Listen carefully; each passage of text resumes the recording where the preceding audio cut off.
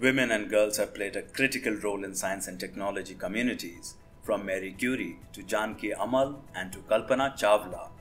Gender equality is a global priority for UNESCO, and MIT World Peace University has supported the education of girls in engineering since 1983 and by setting up a special academic wing to encourage women to join engineering since 2001 in electronics and telecommunication engineering, information technology, as well as computer engineering. Our very own MIT Society of Women Engineers was founded in 1979 to encourage gender diversity in engineering, determine and advocate for the needs of women engineers at MIT Pune, as well as within the community.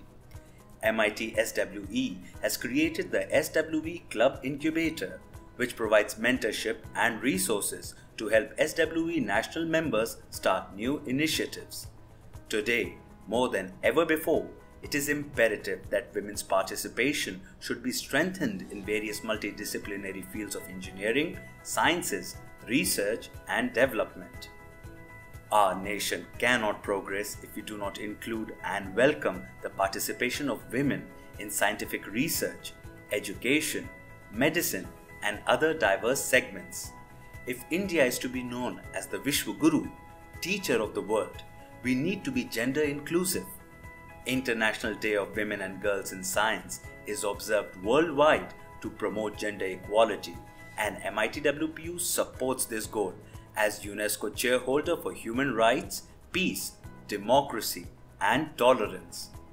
We salute the women of India who have contributed to science and technology development for the nation.